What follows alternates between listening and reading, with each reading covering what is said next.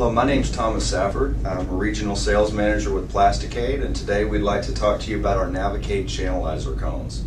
Uh, these are 42 inch cones that are used out on the highways all across the country. Uh, what we found over the last couple of years is that these are being used more and more out on the highways as an alternative to traffic barrels.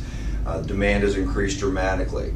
Um, as a result of that, we've taken a, uh, a, look at a couple of the design features of this product and we've upgraded them, and I want to talk to you about those today.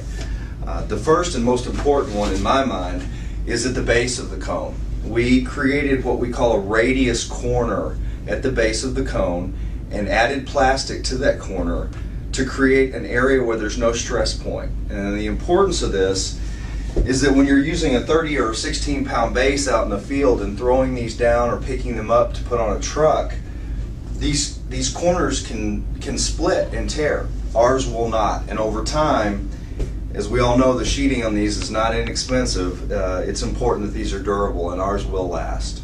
Uh, the second design feature that I'd like to mention to you is about our handle.